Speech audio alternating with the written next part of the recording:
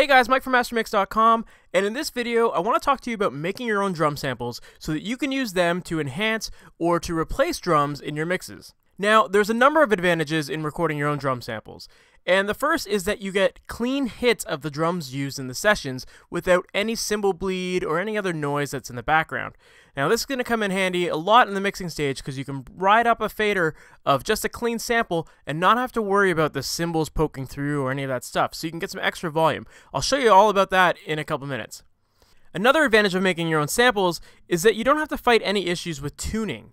So oftentimes you'll listen to recordings and you can sometimes hear that they clearly added a sample because the sample has a resonant frequency on its own and then in the background and perhaps the overheads you can hear this other frequency kind of looming there from the original drums.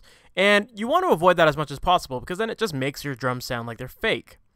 So by using samples that were made with the original drummer's kit, you can avoid that problem. And lastly, another great reason to make your own samples is just to build up your own sample library. Building your own sample library is extremely helpful for situations where you need to replace a drum or enhance a drum. So for example, maybe you've been recording a drummer who has a maple snare that's just, just not cutting it in your mix. Well, maybe you think a Black Beauty sound would be better.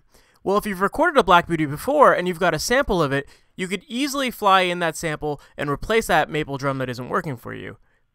So now let's talk about the process for recording your own drum samples. So one of the first things I like to do is every time I set up the drums, I got them all mic'd up, all my levels right, and everything's all tuned, is get the drummer to play a couple hits of various intensities. So I'll get them to play a few loud hits, a few medium hits, and a few quiet hits. And this will help you in the mixing stage if you need to replace either a loud, medium, or quiet hit. So you can see in this session here that right here some snare hits that I took. We got some loud hits. He starts to get a little more medium there, a little quieter. He also did a couple more loud ones after the fact. Same with kick. We've got a variety of those. We've got some tom samples. I even take cymbal samples too. And these are really helpful when you're editing. If you need to fly in a quick hit, Perhaps the drummer maybe hit a rim instead of the middle of the drum, and you need to quickly replace that. You can easily do that if you've got some samples of the hits. So after the drummer has recorded all of these hits, what I like to do next is I'll go into my mix window and I like to get a balance of the close mics with the room mics. Now the reason why I like to use room mics is because they give you a lot of the body sound in a drum. If you have just a close mic, sometimes you get too much attack, but with the room sounds, the, things start to sound a little bit fuller, a little bit fatter, and you get a lot more size and weight out of the drums. So what I did here for snare samples was I, got, I muted the kick, muted the hi-hat and toms. I've also added some processing to the snare just to make sure that we've got a good clean sounding sample. You can add some EQ, compression, whatever you need to make sure that that snare sounds really good. Then what I like to do is I'll get the overheads. I also did some processing on those, adding some EQ and some compression. Let's hear what we've got.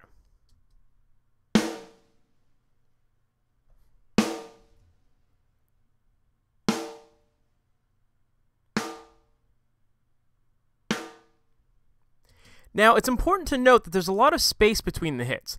And the reason for that is we want to make sure that we're not cutting off the sustain of the drum. We want the drum to fully ring out. So then, after I've got the balance of the mic set up, what I next like to do is I like to analyze the drums and try to find the quietest hits and the loudest hits. And what I like to do is I'll often number them. So in this case, let's zoom in here a little bit. I've numbered them from 1 to 7, 1 being the quietest and 7 being the loudest. I've just added markers right now just to indicate that.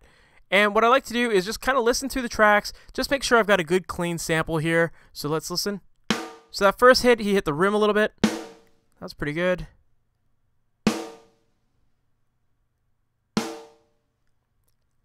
So what I'll do is I'll just try to find loudest and quietest, and I'll mark them off. Then what I'll do next is I will do a tab to transient on the hits that I want, and then I'll create a selection that's long enough for the drum to fully sustain and ring out to silence before the next hit.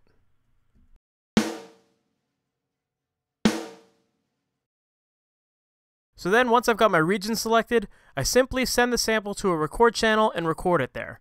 So I've already done that step, but to show you, I've got all of these drum tracks routed to this record channel. I just have to arm this track and hit record, and then I can record a region for each snare hit. Then once I've recorded them, I simply name the files. When I'm naming samples, I like to use the type of drum that I recorded. I also like to use some sort of descriptor to tell me whether the sound is a little more natural sounding, like a blend of overheads with the close mics, or if it's just close mics only, that kind of thing. And then I also like to number them, like I mentioned earlier, from quietest to loudest, so that way when I'm looking through my files, I know exactly what velocity I'm going to get based on the file name. Now, you might choose to make your samples a good blend of close mics and room mics. You might choose to make close mic samples only, or you might decide to crank your room mics and get really roomy drum samples. Whatever you choose is up to you, and it helps to have a variety of samples. So here's a drum session that I did for a band that had a pretty heavy sound, and it required that the snares were pretty consistent in dynamics in order to cut through the dense guitar mix. And when I was listening to the tracks, I noticed that in the verses, the drummer plays a little bit softer than he does in the chorus. Let's listen to that.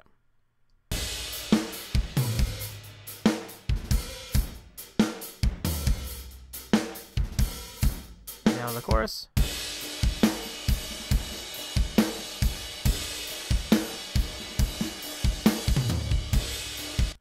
So the chorus definitely has a lot more body on the snare, so I wanted to make sure that I had some of that in the verses as well. Now, the other thing to notice is that when I solo the snare tracks, you'll notice that there's a lot of cymbal bleed happening on the snares.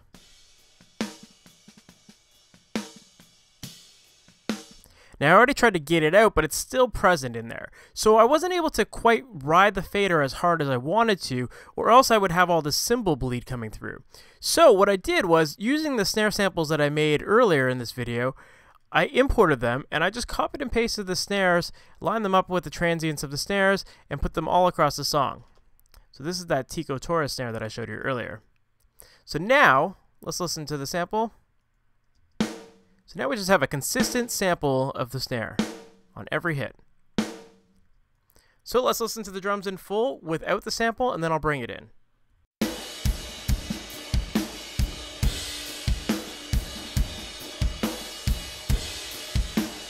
And now I'll bring in the sample.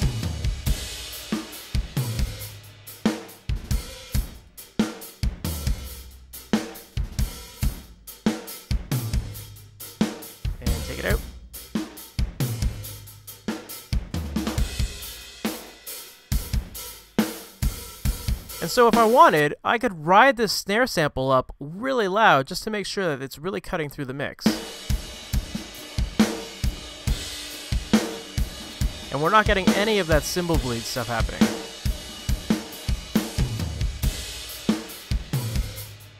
Once more with it out.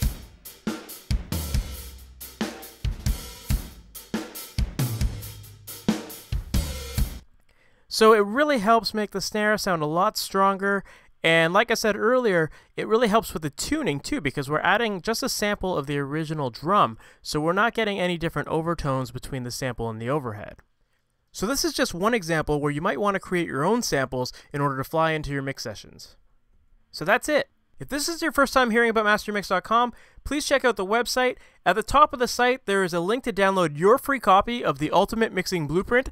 It's a document that I've created that shows you some settings to try with EQ and compression across a variety of different instruments within your mix, and it'll help you drastically with getting your settings quicker and knowing exactly what to look out for within your tracks. Once you've downloaded that, you'll be added to my mailing list, and that's where I send out weekly videos and tips and tricks to try to help you with your mixes. So go ahead and check it out. Also, make sure that you subscribe to the YouTube channel so you're up to date with all the latest videos, and leave a like or a comment on this video. That's it for now. We'll talk soon.